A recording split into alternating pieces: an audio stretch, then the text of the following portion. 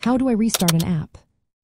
Have you ever found yourself frustrated when an application on your device stops responding or behaves unexpectedly? You are not alone.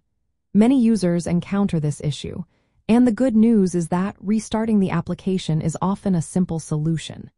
In this guide, we will walk through the steps to effectively restart an app, ensuring you can get back to using it smoothly.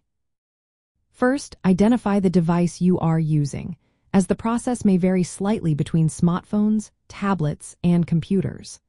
For mobile devices, whether you are using an Apple or Android operating system, the steps are generally straightforward.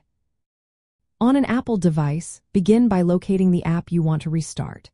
If you are using an iPhone or iPad, swipe up from the bottom of the screen or double-click the Home button, depending on your model. This action will display all open applications. Find the app in question and swipe it off the screen to close it completely. After that, return to your home screen and tap the app icon to reopen it. For Android devices, the process is similar but may differ slightly based on the manufacturer. Access the Recent Applications menu, which can usually be done by tapping the square button or swiping up from the bottom of the screen. Scroll through the list of open apps, find the one you wish to restart, and swipe it away or tap the close button. Once it is closed, locate the app icon on your home screen or app drawer and tap it to launch it again.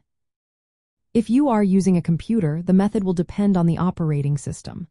For Windows users, you can right, click the app icon in the taskbar and select Close Window, or use the Task Manager by pressing Ctrl, Shift, and Escape keys together. Find the application in the list, select it, and click End Task. After closing the app, you can reopen it by clicking its icon on the desktop or in the Start menu. For Mac users, you can click on the app name in the menu bar and select Quit or press Command and Q keys simultaneously. If the app is unresponsive, you can first quit it by pressing Command, Option, and Escape keys together, selecting the app from the list, and clicking Force Quit.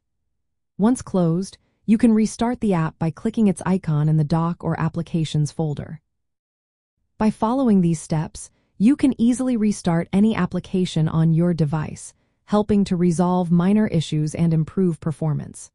Remember, if problems persist after restarting, it may be worth checking for updates or reinstalling the application for a more permanent fix.